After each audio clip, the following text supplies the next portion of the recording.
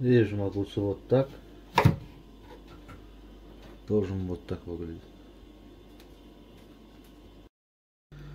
Вытаскиваем сердцевинку с помощью с ложкой.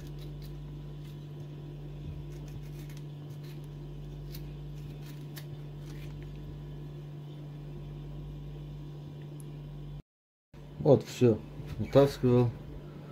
Выглядит так.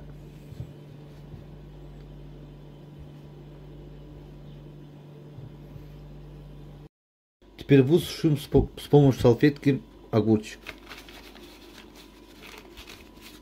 Она мокрая, поэтому. Чтобы она сухая была. Вот. Мажем вовнутрь творожным сыром.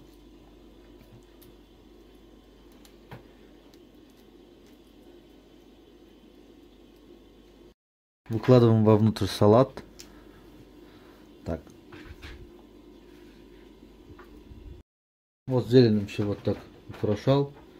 Теперь будем туда выкладывать красную рыбу.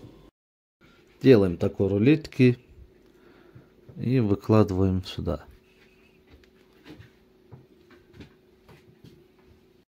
Вот все готово.